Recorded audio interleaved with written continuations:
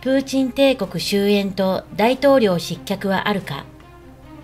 第一人者が2023年の世界を大胆予測。兵道真治前島和弘ウクライナとの戦争プーチン大統領はまだやる気満々。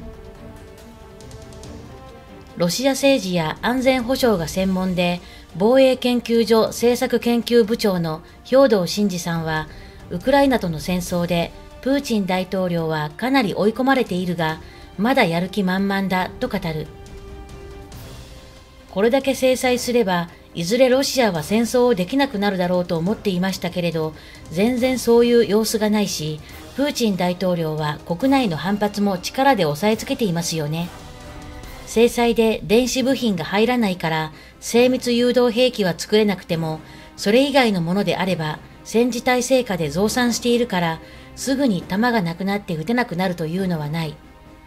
イランからドローンやミサイルの供与を受けるとかいろいろな抜け道や対応策も考えている。一方反転攻勢を強めるウクライナのゼレンスキー大統領にも焦りが見えると指摘する。ワシントンに行って支援をお願いするってやらないと年明けにアメリカ議会が新しくなって下院の多数派が野党の共和党に移ると支援のレベルが下がっていく可能性が出てくる。支援疲れもある。結局ウクライナ側も欧米からの支援は盤石ではないように見えるということですね。ロシアはしぶとい。武器が枯渇しても譲歩しない。戦争終結のためには停戦交渉を行って着地点を見つけなければならないが、今のところ双方が折り合う余地はなく、出口は全く見えないと兵藤さんは語る。武器が枯渇して戦闘能力が落ちた側が譲歩せざるを得なくなることも考えられるが、経済制裁を受けるロシアが先にそうなるとは限らないという。ロシアはしぶといですよね。侮れない底力のようなものがある。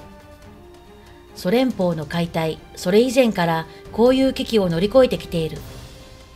外から見える範囲内で合理的に理解できる部分だけじゃないんです。やっぱりロシア人自身が我慢強いところがあるから、プーチン大統領の力での統制に結構順応しちゃっている部分もある。本音では戦争を早くやめてほしいと反発していても、すぐそれが政権への大きな批判につながっていくかというと、そうでもない。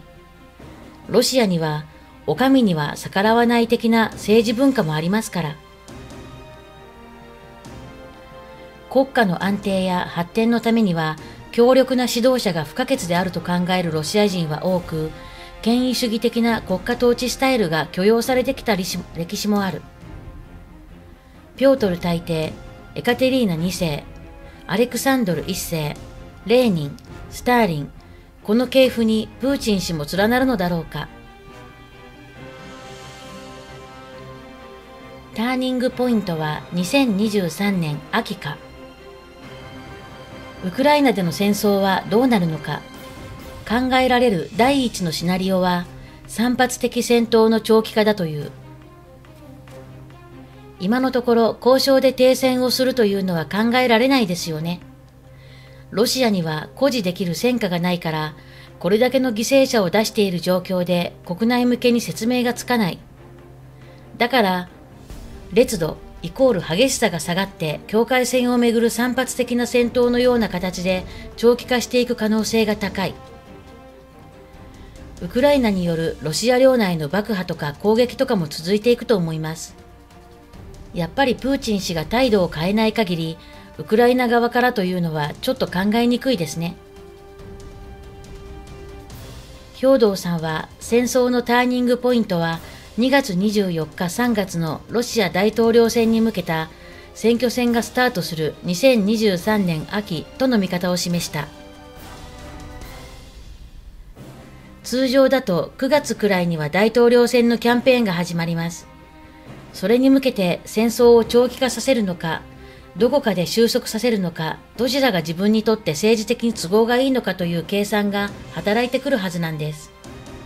予定通り選挙をするなら収束の方向に向かわざるを得ない気がしますが、ロシア全土への総戒厳令も否定できない。総戒厳令となると選挙は延期になる。今はその可能性の方が高いんじゃないでしょうか。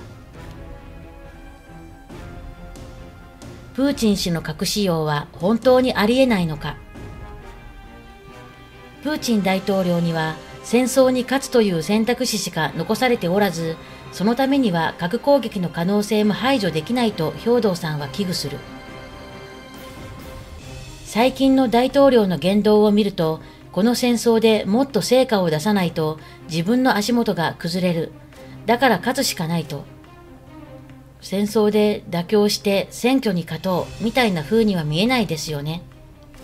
4州の併合宣言を出したり、部分動員をかけたりして、引くに引けないような状況に自らを追い込んでいます。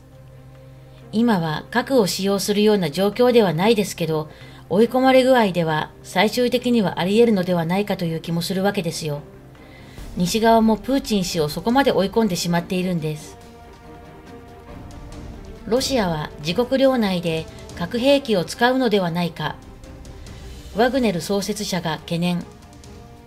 核使用失敗の可能性も示唆。米報道。タス通信によると、ロシアのプーチン大統領はベラルーシのルカシェンコ大統領と会談。ロシアが保有する戦術核兵器のベラルーシ領内への配備について、予定通りに進んでいる。7月7日から8日には準備が完了し、配備作業が開始されると述べた。ロシアが核兵器を使用する可能性については、かねて危惧されてきた。ロシアの民間軍事会社ワグネルの創設者、プリゴジン氏も、ロシアが核兵器を使用することを懸念していると6月6日付、米紙ニューヨークポストが報じている。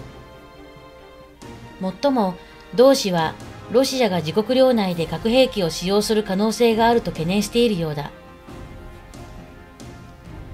ロシアが自国領内で核を使う？プリゴジン氏はロシア政府寄りのテレグラムニュースドンバスナウのインタビューでウクライナとの国境を接しているロシア領のベルゴロド地域での戦闘についてロシアが自国領内で小さな核爆弾を投げるという卑劣な考えを思いつくのではないかと懸念していると述べたというのだ。小さな核弾頭というのは戦術核兵器のことだと思われる。ベルゴロド近くの国境では、ウクライナ軍と共に戦ってきたウクライナを支援するロシア人のパルチザングループが攻撃を開始し、街を破壊、多くのロシア人が避難を余儀なくされた。プリゴジン氏はこの状況について、だから我々、かっこロシア人がベルゴロド地域から後退し、ウクライナ兵が前進しているわけだろと言い、ロシア軍が自国領内で核爆弾を使う可能性について、なぜなら他国の領土に向かって核爆弾を投げるのは怖いが、自国領の町で投げて皆にものすごさを誇示することはできるからね、と、ウクライナ軍がロシアとの国境にあるロシア領の村に駐留した場合、ロシア軍がそこにいるウクライナ軍に対して戦術核兵器をぶっ放すシナリオについて言及したという。ロシアによる核使用は失敗する可能性も。しかし、プリゴジン氏は、ロシアが自国領で戦術核兵器を使ったところで、それが走行するかについては疑問を持っているようだ。ロシア国防省の軍装備品のメンテナンスのやり方を考えると、核兵器が適切に機能するかどうかさえ大きな問題だと述べ、核使用が失敗する可能性も示唆したという。先日、同氏は武器や弾薬がワグネルの戦闘部隊の元に届かないために多くの兵士が亡くなっている状況について、ロシア兵の遺体を映し出す動画を投稿して、ロシア国防省に怒りをぶちまけたが、軍装備品のメンテナンスがうまくできていないロシア国防省は、戦術核兵器のメンテナンスもきちんとできていないのではないかと疑問を感じているようだ。